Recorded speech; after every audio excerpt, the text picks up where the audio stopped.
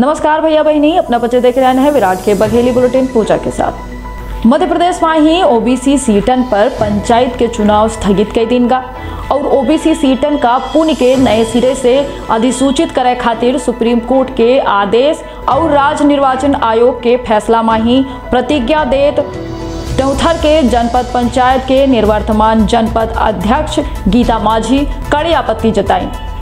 श्रीमती माझी कहीन कि एक तरफ़ तो सरकार पिछड़ा वर्ग का समानता के अधिकार दे के बात करत थी लेकिन दूसरी ओर उनके अधिकारन का छीन अल्लाह ही। वहीं श्रीमती माझी यह कहीन के पिछड़ा वर्ग का खाली वोट बैंक खातिर उपयोग की जात है। अपना का बताई दें कि मध्य प्रदेश के पंचायत चुनाव में पिछड़ा वर्ग आरक्षण के प्रक्रिया पर शुक्रवार का सुप्रीम कोर्ट स्टे लगाए दी एक बाद चुनाव आयोग साँझ के ओबीसी के सीटन पर पंचायत के चुनाव स्थगित कर दिए अपना को बताइए कि सुप्रीम कोर्ट के शुक्रवार के सुनवाई के समय में मध्य प्रदेश राज्य निर्वाचन आयोग का कहिन कि ओबीसी के आरक्षण के आधार पर पंचायत के चुनाव न करावा जाए। वह ओबीसी सीटन का पुण्य के नए सिरे से अधिसूचित करावा जाए। देखिए ओबीसी का जो आरक्षण ख़त्म किया गया है, ये बहुत ही दुखद है। जब से मैंने कल सुप्रीम कोर्ट का जब से फैसला आया और मैंने देखा, सुना उसको, समझा तो मुझे बहुत ही दुख हुआ क्योंकि आप सोचिए जो सामाजिक और आर्थिक रूप से ओबीसी को मज़बूत करने के लिए उन्हें आरक्षण दिया गया था। लेकिन आरक्षण ख़त्म करने से क्या वो मजबूती मिल पाएगी? बुलेटिन के अगली खबर है सतना से, जहाँ के कोठी बाज़ार में दिन दहाड़े एक महिला का गोली मार के दो युवक फरार हो गए। बाइक सवार दो छह युवक पहुँचे और घरे से बाज़ार जा रही महिला का गोली मार के भाग गए।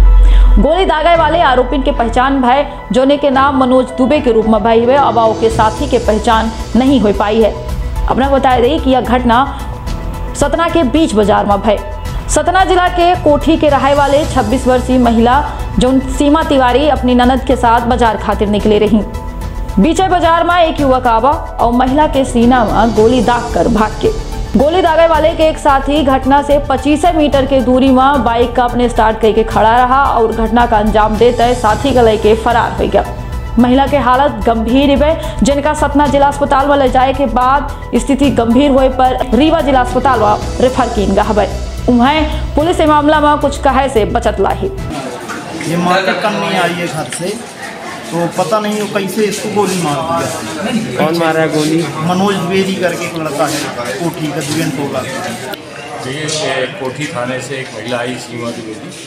उसके बीच में गन शॉट मतलब छर्रे लगे हुए हैं। इसका एक्सरे हो गया है ट्रीटमेंट चल रहा है। एक छर्रा उनके स्पाइन के पास फंसा हुआ है बाएँ हाथ में लगा हुआ है।